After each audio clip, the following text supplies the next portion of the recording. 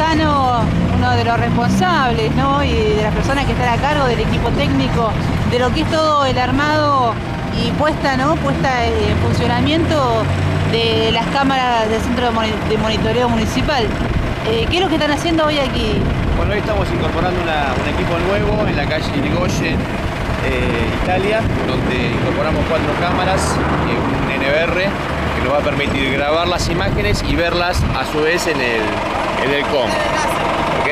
Eh, en este momento con el técnico está trabajando sobre el enlace y bueno, vamos a enlazar justamente con, con el COM. Esto nos va a permitir obviamente incorporar cuatro cámaras más a las que ya tenemos. Sí, bueno, esto estaría cubriendo entonces eh, qué puntos. Y justamente esta esquina, la esquina donde está el gaucho, que es Irigoyen e Italia. ¿sí? La idea es cubrir hasta Huelan, que estamos viendo Huelan, y la escuela y toda la entrada a la ciudad a través de Italia.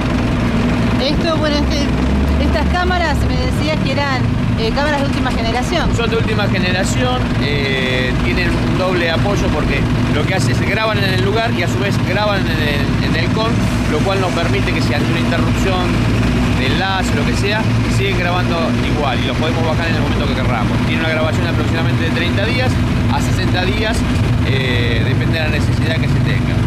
Bueno, con esta entonces me decían serían 43 ya las cámaras que Son 43 cámaras que tenemos instaladas y la idea es llegar aproximadamente entre 60 y 70 cámaras eh, con estas cámaras de última generación, de alta definición. Eh, ¿Las cámaras quedan instaladas en el día de? Estas están, están funcionando en este momento, lo único que nos queda es terminar con el enlace, pero están en este momento funcionando.